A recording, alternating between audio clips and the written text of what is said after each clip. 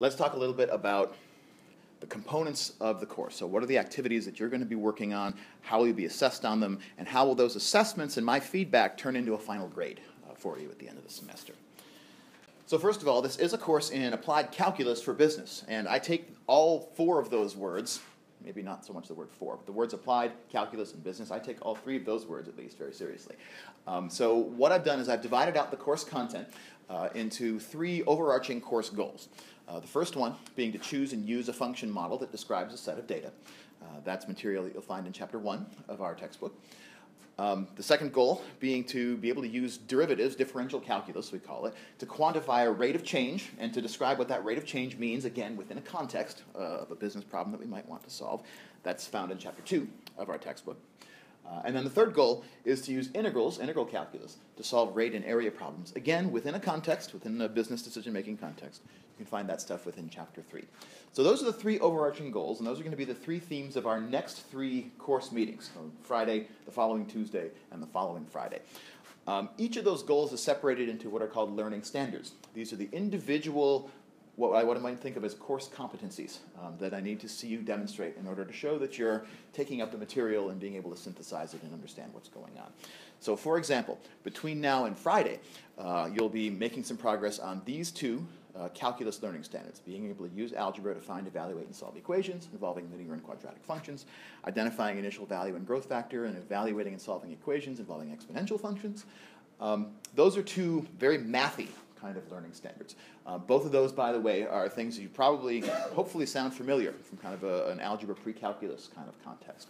Um, so we won't be breaking a lot of new calculus ground over the next several days uh, as we're getting warmed up into the course.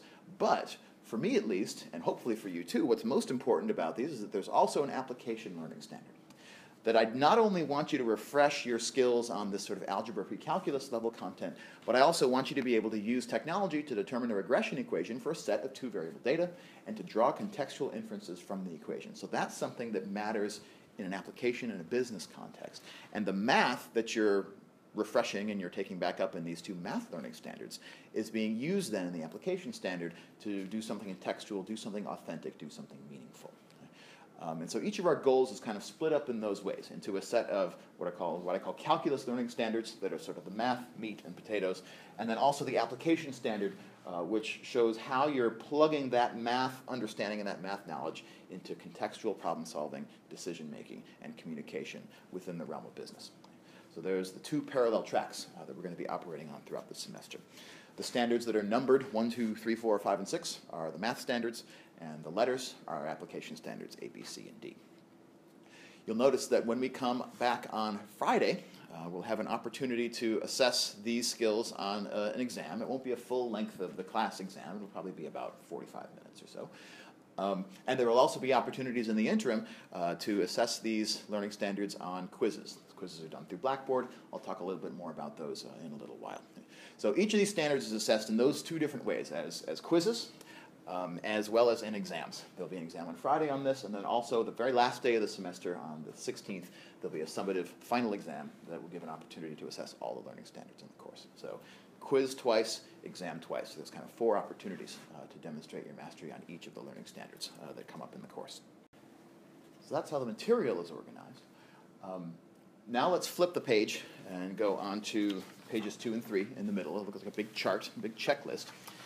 This checklist this checklist is your touchstone uh, for your, first of all, what are the standards that I'm going to be holding your work to? That's all described on the left hand side of this table. So, what are the types of work you'll be doing and the standards to which I'll be holding that work? Um, and then on the right hand side of the page uh, is your place to keep track of your progress toward meeting those standards. Uh, I'll talk more about the, progress uh, in just a moment. Um, but one thing you'll not notice anywhere on the syllabus is uh, talk of points and percentages and a pie chart and how I'm weighting the different grades and so forth, because that's not how I operate. Um, what I like to do is create a, a system that, that privileges not points, but rather progress and feedback. Uh, so, what happens is, for example, when you take a quiz on Blackboard, the first quiz will cover that first set of two calculus standards and one application standard, one, two, and A. Um, you'll take that quiz, you'll submit it to me via Blackboard. That first due date is tomorrow night at midnight. Uh, what I'll do is I'll look at that quiz and I'll read it through three times, asking each time, did your work rise to the standard set by each of the learning standards, one, two, and A? So you get assessed on those all separately. Um, and then I give you feedback. Either yes, it met the standard and could possibly be exemplary, in which case you get to check one of the boxes down in this land down here. And each of the calculus standards boxes that you check becomes a checkbox in this row. Each application standard box that you can check becomes a checkbox in this row. Boxes checked from left to right, so you can't check any box unless all the boxes to the left of it are also checked. Um, and then as you continue to demonstrate mastery of those standards via quizzes, via exam problems, and so forth, um, additional mastery can accrue down here, gets you more progress across each of the rows in your grade chart. Um, you'll have reading discussion assignments. Each of those that you complete also gets you a check mark in that row. Um, the semester marketing project, um, once it meets the standard set forth in the syllabus for the marketing project, you'll, as a team, receive a check mark for that. Um, WebWork is our online homework environment. As you complete certain numbers of WebWork problems for the semester, you can check those boxes as well from left to right. And then the idea is that the grade that you get out of that process is that column in which you've been able to check off all the boxes in that column.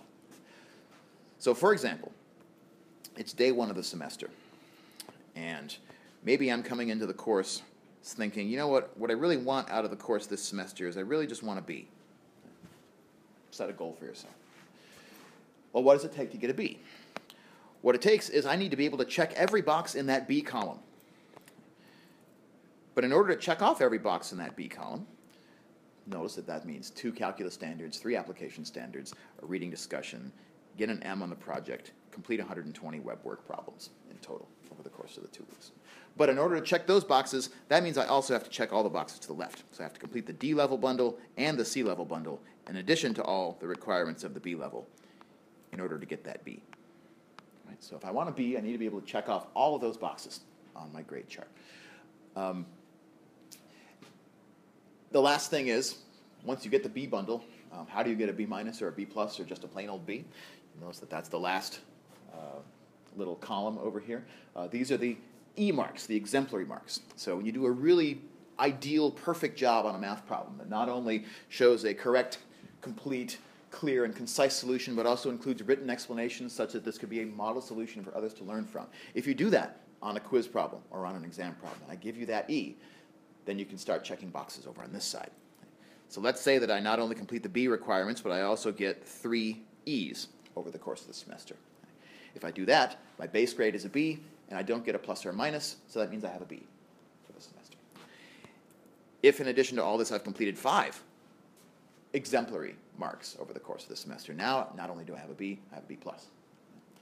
So your overall grade for the semester is the letter that's determined by the bundle that you complete, combined with a modifier, the plus or the minus, that's determined by how many exemplary marks you've received over the course of the semester. And exemplary marks can come from your work on the calculus standards themselves, quizzes, exam problems. They can come from your work on the application standards also, quizzes, exam problems.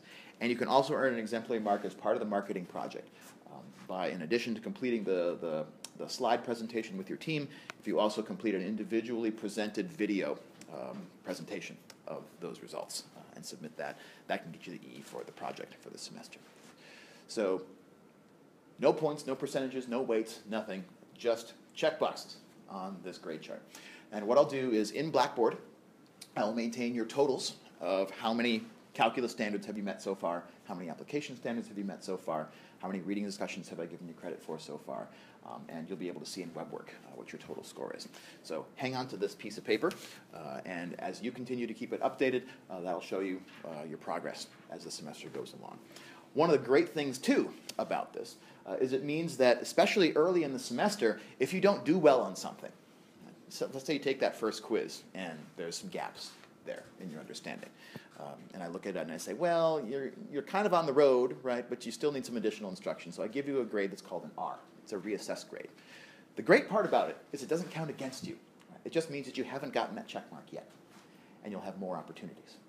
Because each standard is assessed four times. Right? If you don't get it the first time, you have three more opportunities. Um, and all you need in the end is to get a maximum of two check marks per each standard. That's the, the most that you can get.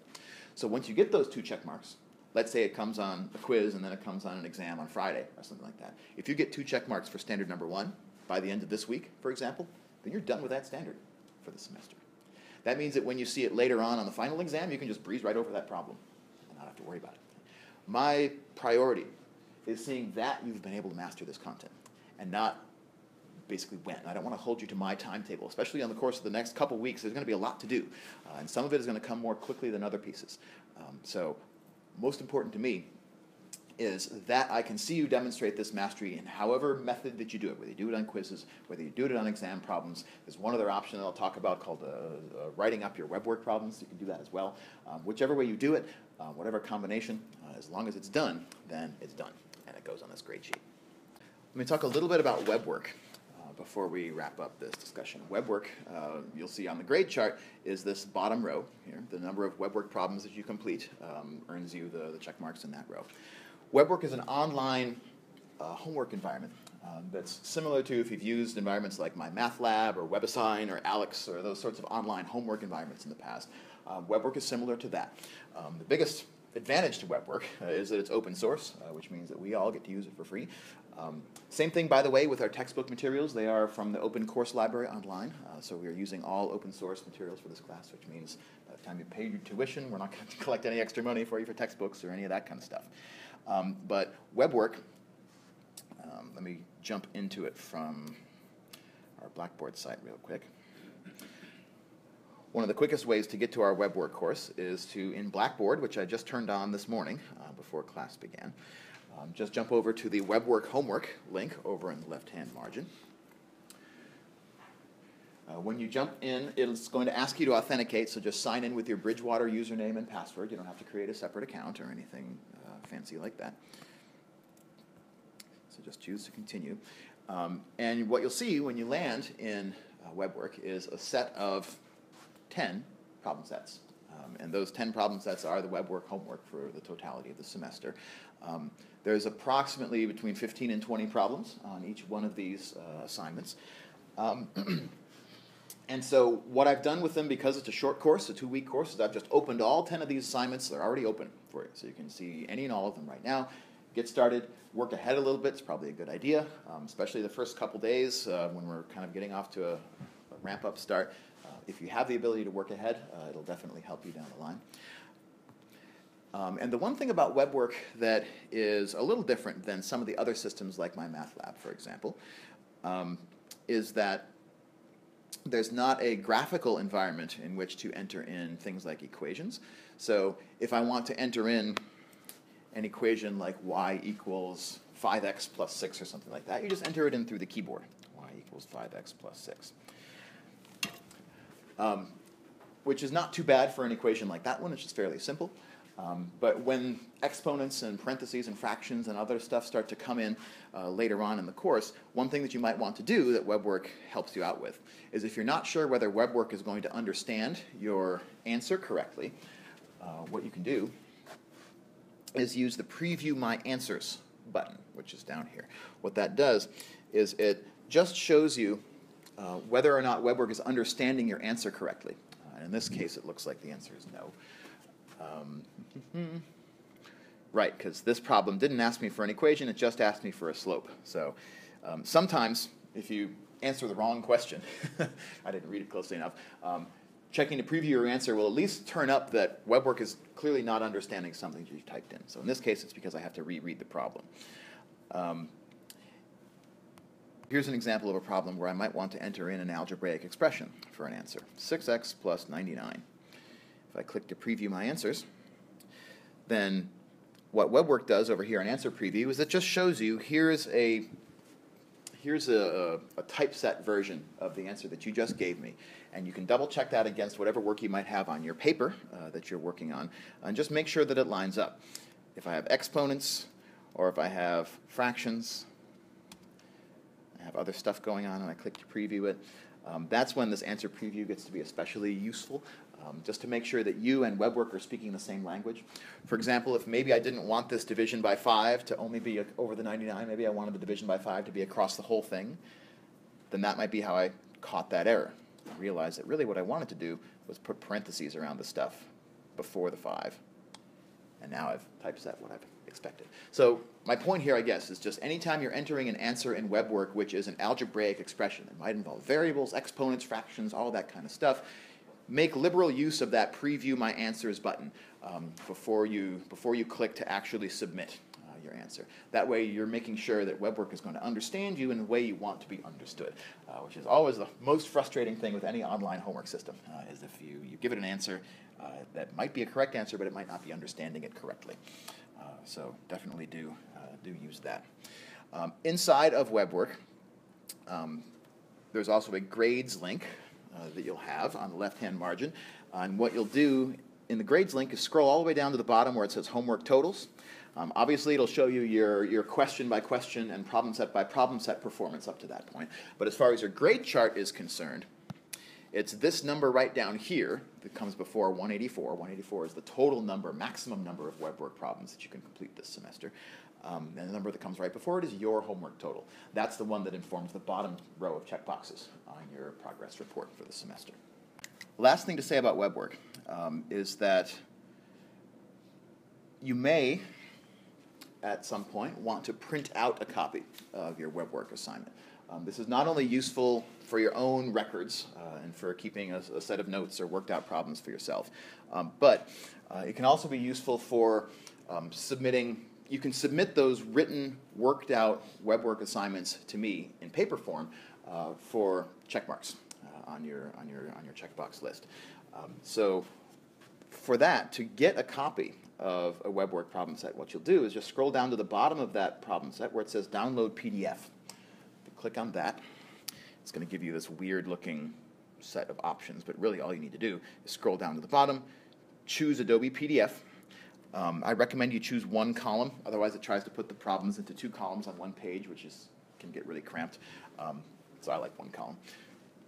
But if you then just click Generate Hard Copy, it will generate in your browser a PDF copy of your WebWork problem set. Now, everybody's WebWork problem set is a little bit different from everybody else's. They're the same problems, but the numbers are varied a little bit. Um, and so this is your personal copy. You'll even have your name uh, right here at the top of it.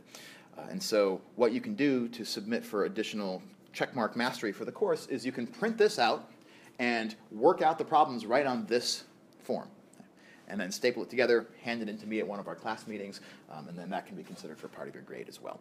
Um, and it's also just really useful to have for your own records uh, so that you have a running, running record of what you're doing inside of WebWork. So last couple things to say about the online presence uh, in our course. Um, Blackboard is kind of our central hub. Uh, I'll be keeping your running totals of your, of your grades uh, inside of Blackboard in the grades link, um, which is a little further down the, the left-hand bar. Um, I'm also maintaining a to-do list, uh, which is probably the most important thing to jump in and look at uh, in Blackboard. It has a list of everything you'll need to do before each of our in-person class meetings. So this list of five items here is everything to do by our Friday meeting this week. Um, there's reading and discussion assignments, um, homework practice. So this link takes you directly to, well, not quite directly, I'll show you in a minute, um, but that link can get you over to the web work problem sets. Um, and also links to the project, um, the, the quiz and the project uh, information uh, for each week's uh, to-do list is here. Um, on the left-hand bar, there's a link to a PDF copy of the textbook if you just want to print out the whole darn thing, or if you just want to keep a PDF copy of it on any of your devices. Um, that's a, a, great link that you can use. Just get a copy of it and keep it with you. Um, that way, you can even read it offline if you have a copy on your device. Um, there's also a link to various other videos that I've recorded in the process of teaching this course over the past couple of years um, that you may find helpful at various points throughout the semester. Here's a link again out to the whole WebWork course. Um, there's a link here to the marketing project, which we'll explore in a few minutes. Um, and then the most important link I guess I wanted to point out here is a link called Live Textbook. So if you click that, that takes you out to this page. Uh, and this is a this is what I like to think of as a running sort of uh, record of what we're doing in our course. And it's structured out by the various steps that make up our semester project. So we're going to talk more about what those steps are in a little while. Um, but what you'll be able to find here is, first of all, uh, for each of our various project steps, um, motivation. This is going to be something I build out using the videos that we record in class afterwards. Um, a Learn It tab, so there's actually a bunch of stuff here. Each of the Learn It tabs um, has specific links out to the chapters of the textbook that we'll be reading for each of these project steps, uh, as well as um, links to the specific web work um, uh, problem sets uh, that relate to the mathematics content of that. Um, apply it, those are also going to be links that I build out uh, using the material that we record during the class. Um, and then the decision reports, these are the individual building blocks that make up the semester project. Um, that information is out here as well. Um, so this page is going to be continually evolving with content uh, as we continue the, the, semester over the next couple of weeks. Um, and it's also kind of a nice little one-stop place to make sure that you're linking out to the reading and annotation assignments correctly. Um, so the last thing I wanted to mention then are the reading and annotation assignments. So it's important in math, as it is in any class, to be, to be reading your textbook materials. It's kind of the, the number one source of, of where you're picking up uh, mathematics and, and, applied content for the semester. But because this is a web hybrid course, I think it's especially important that that not just be something that you do in isolation, but that there be an opportunity for all of us to be in a conversation about the text as we're reading it and as your understanding of the content is developing. Um, so to that end, the reading discussion assignments that are a part of your grade chart um, will require you to jump into the reading using one of these links uh, that's right here. Uh, these links are also um, duplicated in Blackboard's to-do list. Um, so let's suppose that I want to jump into chapter one, which is the chapter you'll be reading this week, um, and read either, so it comes in kind of two flavors, a brief synopsis, so this is a short kind of summary of the material that's in chapter one, and then there's the full expanded out text uh, version of chapter one. Um, just for now, I'm going to choose the brief synopsis version. And the link here, if you click on it, not only opens that synopsis as a PDF, but it opens it up in an annotation environment called Hypothesis. So the last thing I want to talk about is Hypothesis, how it works, how to get connected with it, what to do with it.